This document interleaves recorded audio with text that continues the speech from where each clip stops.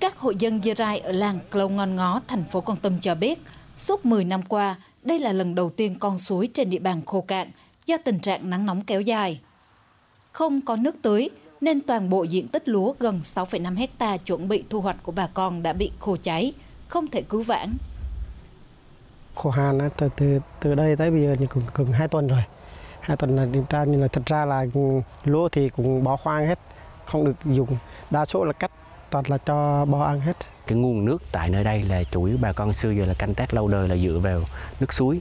Cho nên khi mà nước suối năm bắt đầu là khô hạn dần thì bà con không không không có cái nguồn nước tưới để đảm bảo cho cái diện tích lúa. Thống kê đến thời điểm này, tại địa bàn thành phố Con Tum, diện tích cây lâu năm bị ảnh hưởng do khô hạn thiếu nước tưới khoảng 425 hecta, gồm cà phê và cây ăn trái. Bên cạnh đó, diện tích các loại cây trồng ngoài công trình thủy lợi bị khô hạn, thiệt hại hoàn toàn gần 10 hecta. Ngoài ra, gần 100 giếng đào của người dân cũng bị khô kiệt.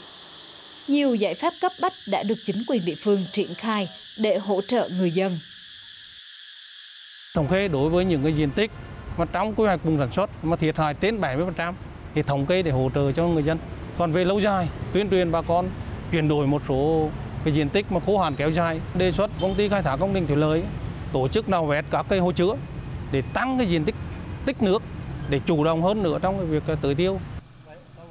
Chính quyền thành phố Con Tum cũng đang ưu tiên đẩy nhanh tiến độ triển khai dự án cấp nước sạch cho người dân trên địa bàn, hỗ trợ đồng bào vùng khô hạn chuyển đổi cơ cấu cây trồng, kết hợp ứng dụng công nghệ cao để sử dụng nguồn nước tiết kiệm, ứng phó với biến đổi khí hậu hiện nay.